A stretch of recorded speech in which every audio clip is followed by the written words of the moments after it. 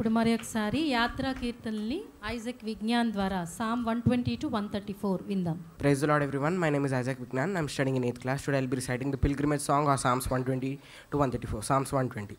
I cried out to the Lord when I was in trouble, and He answered me. Lord, deliver me from lying lips and dishonest tongue.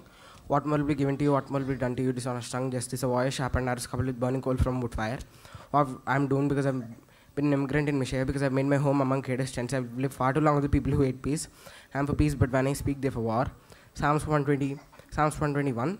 I raise my eyes towards the mountains. Where will my help come from? My help comes from, my help comes from the Lord, the maker of heaven and earth. God won't let your foot slip. Your protector won't fall asleep on the job. No, Israel's protector never sleeps or rests. Israel's protector never sleeps or rests. The Lord is your the Lord is your shade right beside you.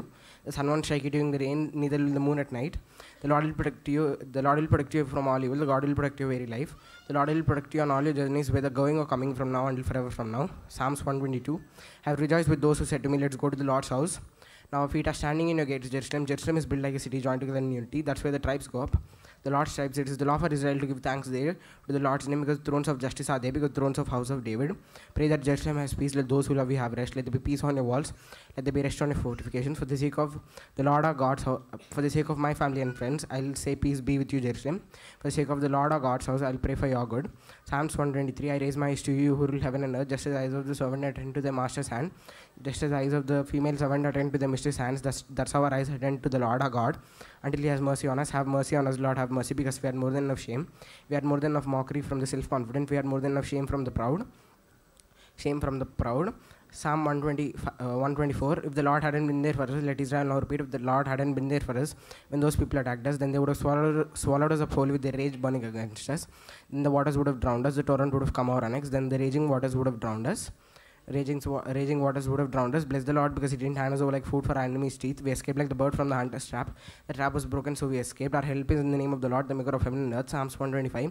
The people who trust in the Lord are like Mount Zion, never shaken, lasting forever. Mountains around Jerusalem, that's how the Lord surrounds His people from now until forever from now. The, the wicked rod won't remain in the land given to the righteous, so that they don't use their hands to do anything Lord, wrong. Lord, do good to people who are good to those hearts that are right. But as for the people who turn to their own twisted ways, may the Lord mark them off with the other evildoers. Peace, peace be on Israel. When the Lord changed Zion, Psalms 126, when the Lord changed Zion's circumstances for the better, it was like we had been dreaming. Our mouths were suddenly filled with laughter, tongues, our tongues filled with joyful shouts. It was even said at that time among the nations that the Lord has done great things for us. Yes, the Lord has done great things for us, so we are overjoyed. Lord, change our circumstances for the better, like dry streams in the desert waste. Let those who plant with tears reap harvest with joyful shouts. Let those who go, go out crying and carrying their seed come home with joyful shouts carrying bales of grain. Psalms 197. "Un- Unless it is the Lord who builds the house, the builder's work is pointless. Unless the Lord who protects the city, the God on duty is pointless. It's pointless that you get up early and up late eating the bread of hard labor because God gives sleep to those he loves. No doubt about it. Children are the gift from God. The fruit of the womb is a divine reward. The fruit of the womb is a divine reward. Children born when one is young are like arrows in the hands of a warrior. The person who fills the choir filled with them is truly happy. They won't be ashamed when arguing with their enemies in the gate. Psalms 128. Everyone who honor, everyone who honors the Lord, who walks in God's ways, is truly happy. They won't be ashamed when. Uh, uh, everyone who honors the Lord, who walks in God's ways, is truly happy. You'll definitely enjoy work you worked hard for, and you'll you'll be happy, and things will go well for you. In your house, your wife will be like wine full of fruit all around the table, and uh, your children, children will be like olive trees freshly planted. That's how it goes for anyone who honors the Lord. They'll be blessed. May the Lord bless you from Zion. May you experience Jerusalem's goodness your whole life long. May you see your grandchildren. Peace be on Israel. Psalms 129. From youth, people have constantly attacked me. Let Israel now repeat. From youth, people have constantly attacked me, but they haven't beaten me. They plowed my back like farmers. They made the furrows deep. But the Lord is righteous. God cut me free from the ropes of wicked. Let cut me free from the rocks of wicked. Let everyone who hates Zion be ashamed, thoroughly frustrated. Let them be like grass on a rooftop, which dies before it can be pulled up, which won't fill the harvest, uh, reaper's hands, which won't fill the harvester's arms.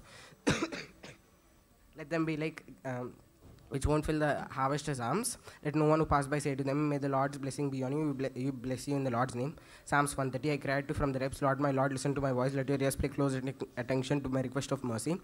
Uh, if you kept track of sins, Lord, my Lord, would stand a chance? But forgiveness is you. That is why you are honored.